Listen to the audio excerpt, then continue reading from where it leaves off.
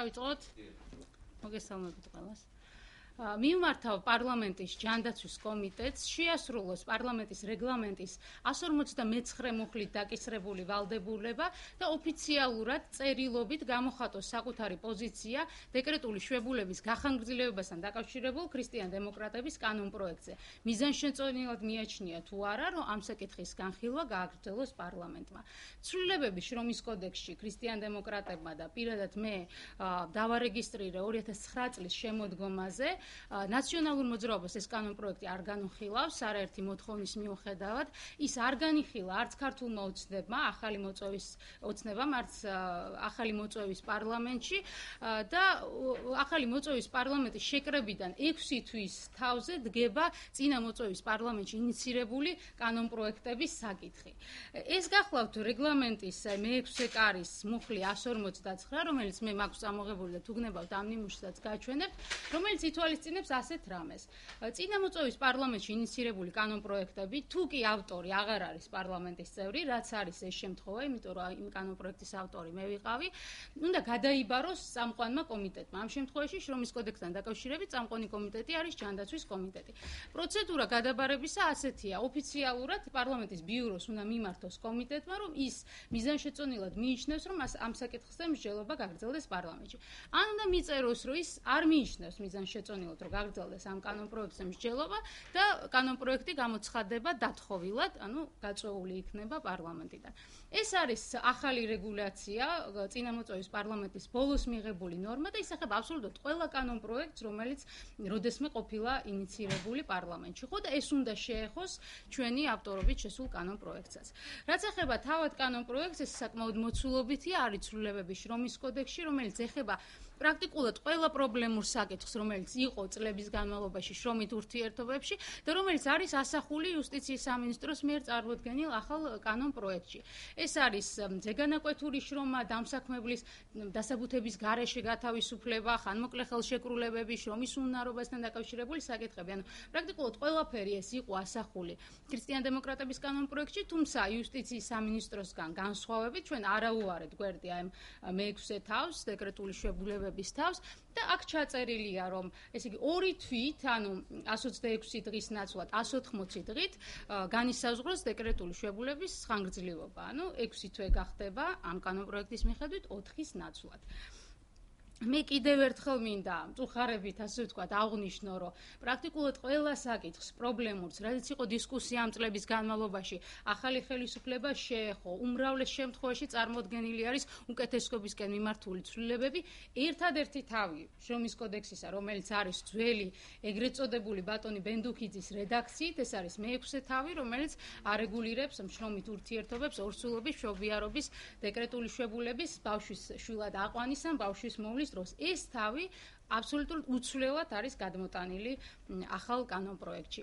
მიუხედავად იმ ძალიან მცირე და ზედაპირული განმარტებებისა, რომელიც მოისმინეთ, რომ ეს არის რთული თემა და ამას სამომავლოდ მიუბრუნდებიან, რა თქმა უნდა, ეს განმარტება არც ერთ შემთხვევაში არ არის დამაკმაყოფილებელი, მით უმეტეს იმის გათვალისწინებით, რომ ამ კონკრეტულ ვადასთან დაკავშირებულ შემთხვევაში არავითარ სირთულესთან საქმე არ აგვაქვს, ეს არ იწევს არც დამატებით ფინანსურ სახსრებს, არ იწევს რაიმე ტიპის სხვა რეგულაციების შეცვლას, აქ საუბარია მარტივად ვადის გახანგრძლივებაზე, რაც არავითარ სირთულესთან და ხანგრძლივ ექსპერტულ სამუშაოსთან დაკავშირებული არ არის. კანონპროექტიც გამზადებულია, რა თქმა უნდა, თუ ეხა ვინმეს პრობლემა აქვს, რომ ჩემი და ჩვენი პარტიის ინიცირებული კანონპროექტი გაიტანოს, ეს სხვა საკითხია, მაგრამ თავისუფლად შეიძლება რომ ეს ინიციატივა შევიდეს იმ კანონ პროექტშიც არც ეს არ არის პრობლემა, ხო?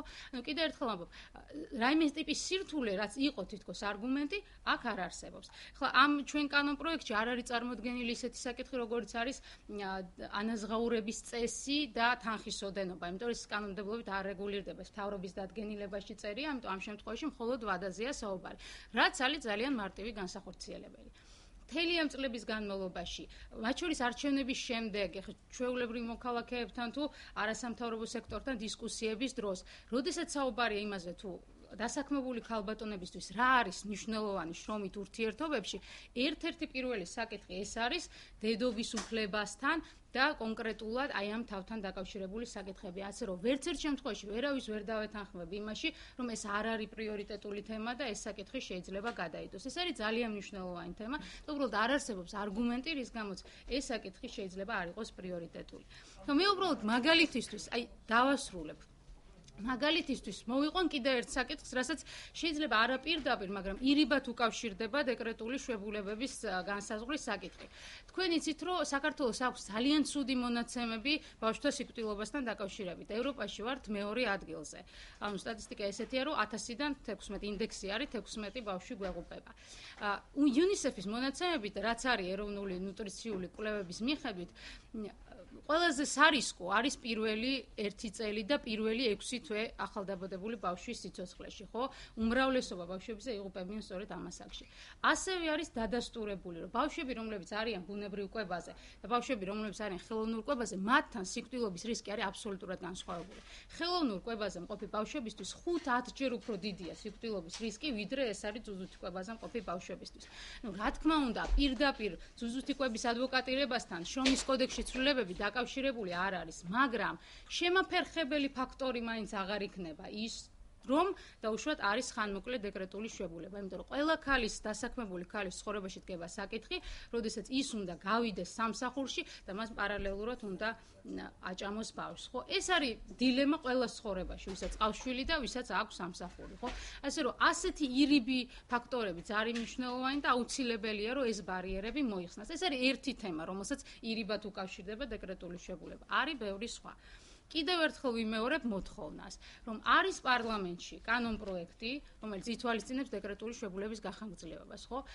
ოფიციალურად რეგლამენტის მიხედვით კომიტეტმა უნდა გამოხატოს პოზიცია მიზანშეწონილად მიაჩნია თუ არა მას, რომ ეს კანონპროექტი განიხილოს პარლამენტმა.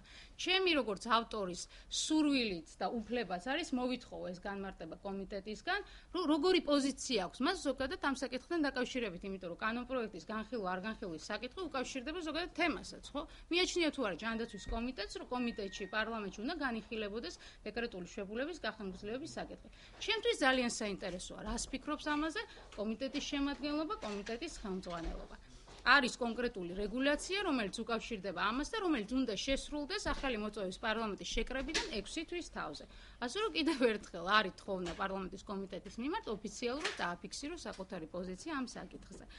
რაც ეხება კიდევ ერთ ჩანაწერს რეგლამენტში, ეს არის აი ამ 159 მუხლის უკვე მე-6 პუნქტი, სადაც საუბარია რაზე რომ თუ კომიტეტი ამას არ გააკეთებს და საერთოდ არავითარ ინფორმაციას ამ პოზიციას არ მიაწვდის პარლამენტის ბიუროს, ყველა კანონპროექტი რომელიც არის ინიცირებული წინამოწვევის პარლამენტში და რომელიც აღარ იხილება ამ ახალი მოწვევის პარლამენტში, ისედაც ავტომატურად გამოცხადდება დათხოვილად. რაც პრინციპში აბსოლუტურად იგივეა, რომ პარლამენტმა უარყოს იგი და თქვას, რომ არ მიმაჩნია მიზანშეწონილად მისი განხილვა. ანუ ეს იქნება იგივე, თუმცა ჩემთვის როგორც ავტორისთვის კიდევ ერთხელ ვამბობ, მნიშვნელოვანია, რომ სწორედ არსებობდეს ოფიციალური განმარტება, იმიტომ რომ იქ უნდა დაასაბუთოს პარლამენტმა. რაღაცა მიზეზი უნდა ჩაწეროს, რაღაც არგუმენტი უნდა მოიყვანოს და თქვას, რომ მე იმიტომ აი ამ მიზეზის გამო ფიქრობ, რომ ეს თემა არ არის აქტუალური, რომ საქართველოს ქალები ისეც აღარ აჩენენ ბავშვებს დაუშვათ. ან ვინც აჩენს იმას სამსახური საერთოდ არ აქვს და ამიტომ ფიქრობ, რომ